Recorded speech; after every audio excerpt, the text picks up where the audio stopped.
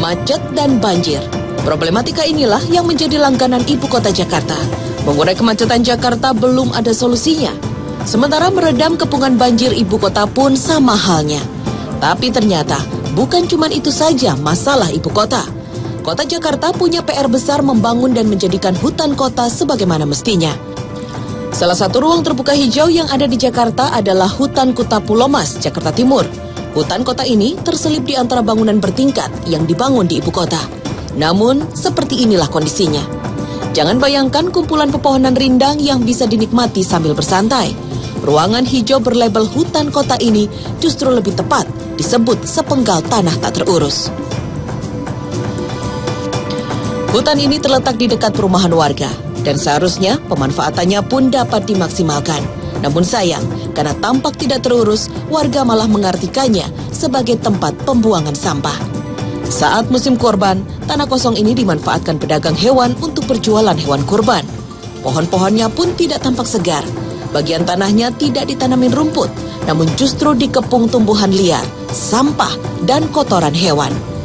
Pemerintah setempat mengklaim selalu berupaya menjadikan hutan kota sebagaimana mestinya, seperti menyingkirkan sampah di areal ini.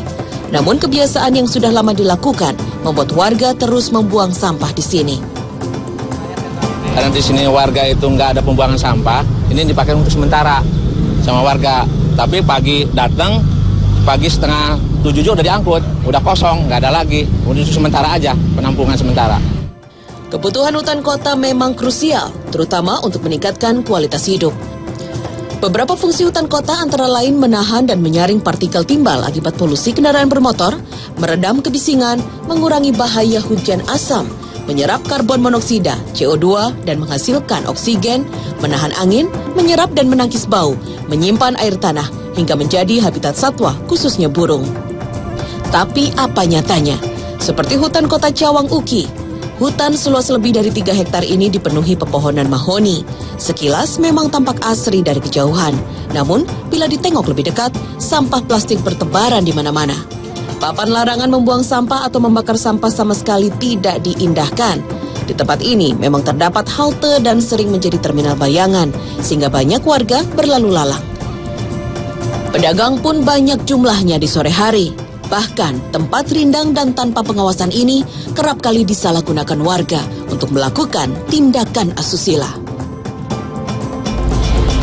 Ya, memelihara hutan kota ternyata belum maksimal dilakukan oleh pemerintah daerah, terbukti dari masih banyaknya celah yang dimanfaatkan dari lemahnya pengawasan pemerintah sehingga merubah fungsi dari hutan kota itu sendiri menjadi tempat sampah. Lianita Ruhyat, Ari Setia Kusuma, Jakarta.